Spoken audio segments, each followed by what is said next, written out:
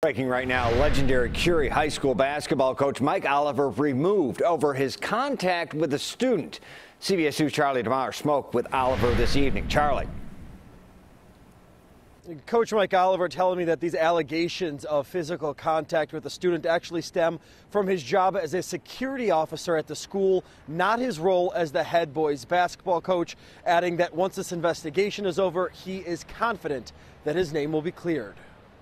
Coach Mike Oliver has led the men's basketball team to two city titles, and the team is 21 and 1 after a win last night. They're also recognized as one of the top teams in the state and country.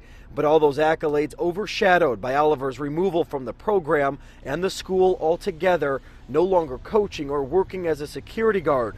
Last week, CPS sent a statement saying a staff member acted improperly with a student, but tonight, CPS providing details, telling us that Mike Oliver is gone from the school and under investigation for allegedly getting into a physical altercation with a student.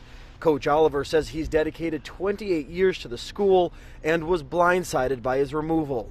I mean, I'm, I'm the head basketball coach at Curie High School, and um, you know, our success, we're number one team in the state, uh, 20th in the country, and uh, I've been coaching for 28 years, and, and, you know, anything in my files, you go look at my files, I never had any altercation with anyone, never been written up, I never even had a parent conference, and for this, uh, you know, to come out now, I just think it's bad timing.